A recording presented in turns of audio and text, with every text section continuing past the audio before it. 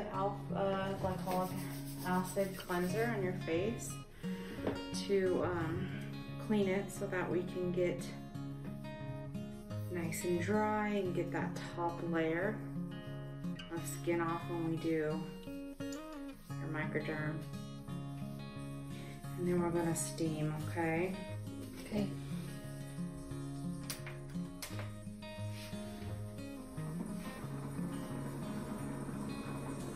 Look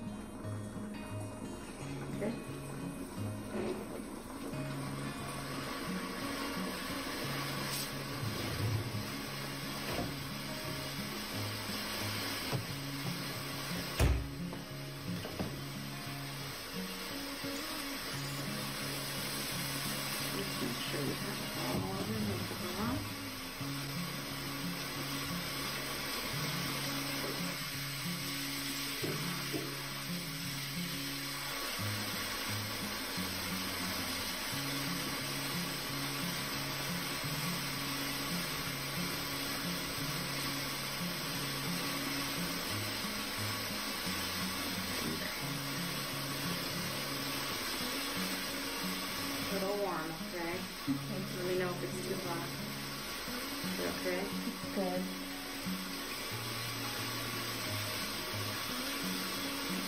Like that? Okay.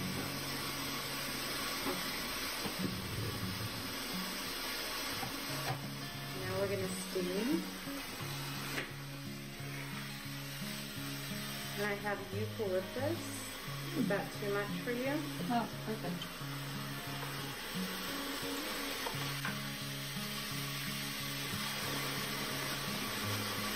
Gonna do this for 10 minutes. And then this will open up all your pores.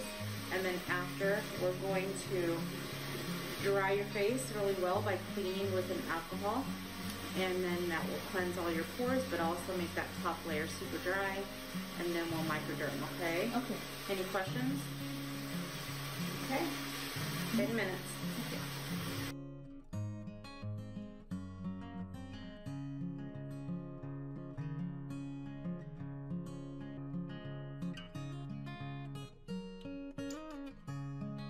Right, how do you feel? That was nice. My sinuses are open. and that eucalyptus is kind of relaxing, huh? Mm-hmm. During the facials, you can choose your own um, essential oil, lavender, eucalyptus, anything like that. And it's uh, definitely relaxing. For 10 minutes, we open your pores and you breathe in all that goodness. So now what we do in order to get the skin dry is to use the alcohol, okay?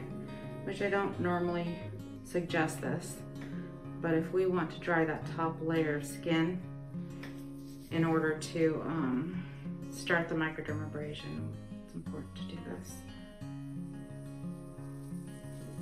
And it's amazing how alcohol can dry the skin pretty quick. Now we're going to make sure that the face is very dry before we start. Sometimes I'll fan it, make sure it's all dry.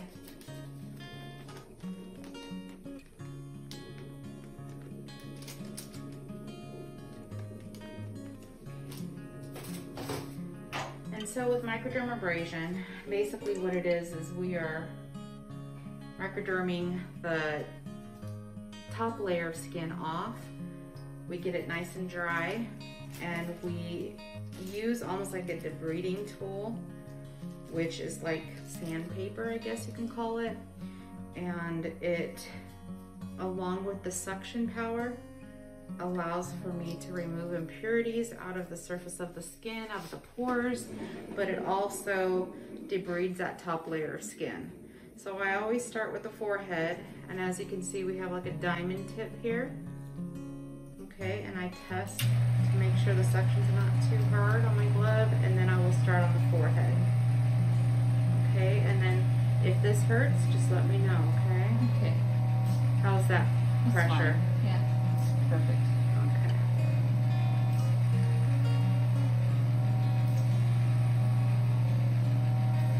We glide along the surface of the skin, we're able to take off that dead layer of skin, especially if someone has had a uh, chemical peel recently. This can get off that last part of the, the, the dead skin. Are there different levels to the suction? There is, and we can go a little bit higher if you're comfortable. I think this is a good This is a level, good level for you? yeah. Okay. As you can see, she'll get a little red, and at the end, it'll look like a little bit of a sunburn for about 24 hours. When you get to the looser part of the space here, you sometimes want to turn it down a little bit.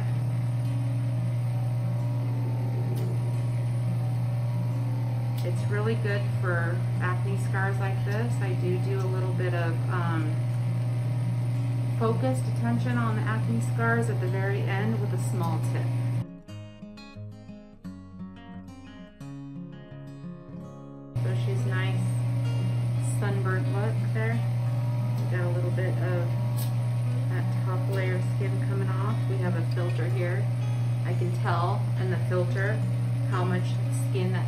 based on the color.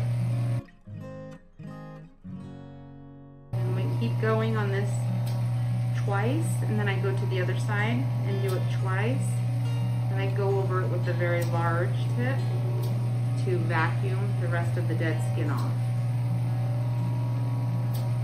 Is that too hard, Lisa? Nope.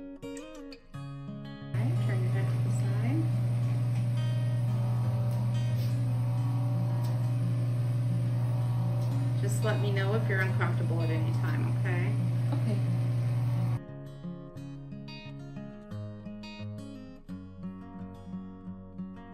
Looks like she has one little acne scar here that I'm going to work on a little bit. And then she has a few over here. So that will be at the very end where I work on that.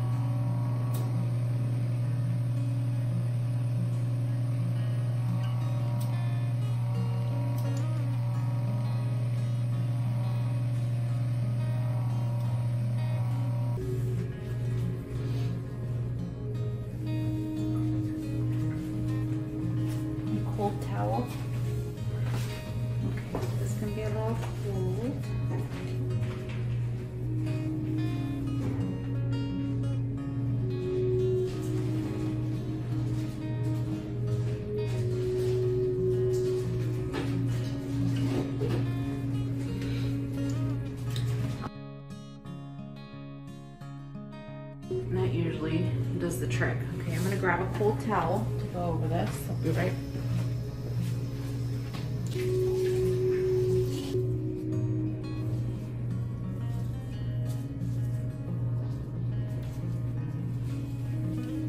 Okay, I'm gonna keep this on for about three minutes. Is that okay with you?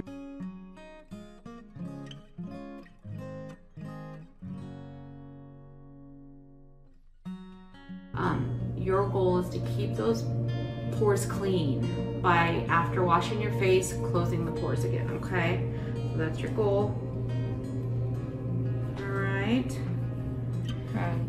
And don't hesitate to call if you have any questions or comments. Okay, thank you so much. Nurse Darlene out.